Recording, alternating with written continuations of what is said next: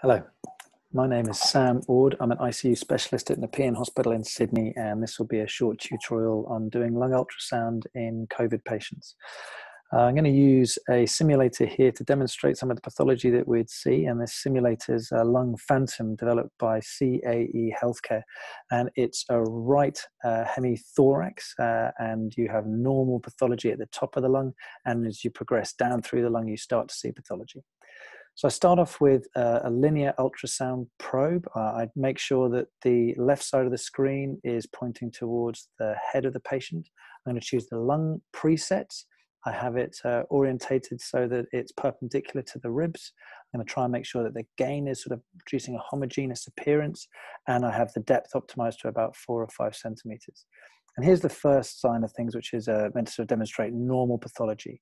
So what we can see here is that we have a rib and we've got the acoustic shadowing behind it from the rib uh, or the rib shadow. And here we've got the pleura sitting uh, uh, just sort of the interface between the soft tissue and the lung itself. And this lung is the dirty shadow behind that may have A lines across it, which are that sort of normal appearance. And we can see this lung sliding as the patient's taking the breath, and that's called the lung sliding sign. And the, uh, the pleura are nice and thin and have this sort of regular movement. As we move down, we're going to start to see sort of the original sort of as the disease starts to progress and this sort of mild appearance uh, initially of thickened, irregular pleural lines. And they get worse and worse as the disease progresses. And here, as we sort of start pulling that probe further down towards the bottom of the lung, you can see that we can get potentially sort of this irregular pleural line. We get this thickening that can occur, so it becomes much more echogenic. And you might be able to see sort of small, uh, sort of subpleural uh, fluid collections that could potentially come in, and maybe that sliding sign isn't quite as uh, quite as pronounced. And the last thing is, is just seeing these little B lines that are starting to come down, this comet tail artifact. And we'll see more about that when we look with the abdominal probe. And again, as you start progressing down, we see that this disease process looks worse and worse. And finally, as you start to come down to the bottom part of the lungs, we'll start to see some uh, sort of consolidation. And that's again better seen with uh, one of the other, other curvilinear probes. So we'll probably just try and just do one more glance at all of that so we can progress through what looks like normal and then progressively more abnormal. So start at the top of the lung phantom, normal lung pleura, thin, nice sliding sign, sort of a uh, sort of homogeneous, sort of dirty shadow of the lung below that, which should have B line, uh, which would have A lines in it. Here we can see a sort of mild disease, increasingly irregular, few B lines coming down, and then more severe as we get that uh, horrible sort of thickening and subpleural collections of the, the pleura, which is seen very nicely with this linear ultrasound probe. Okay, so after that, now we're going to move on and use the uh, uh, use the abdominal probe. You can also use the echo probe. I'll use the abdominal probe, the curvilinear one in this. I'm going to make sure that I've got what's on the left side of the screen is pointing towards the patient's head.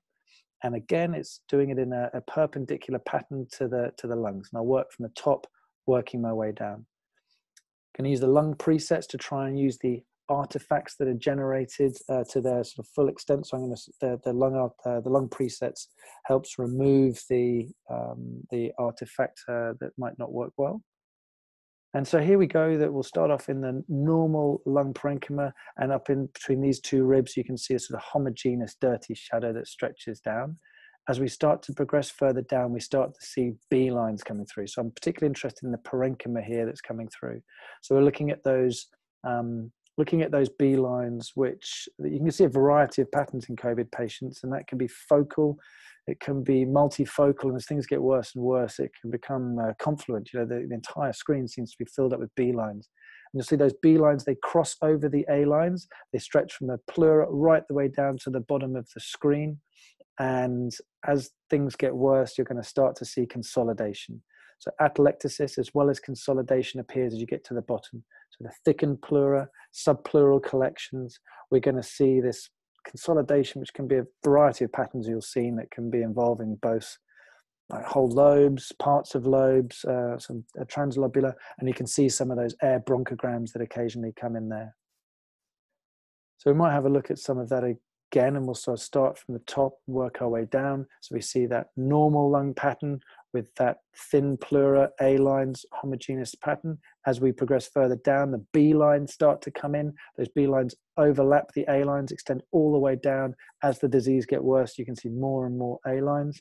And then at the bottom part of the lungs, you often see big collections of atelectasis with occasional air bronchograms in there, mixed in with some patterns of some B lines that can come in there.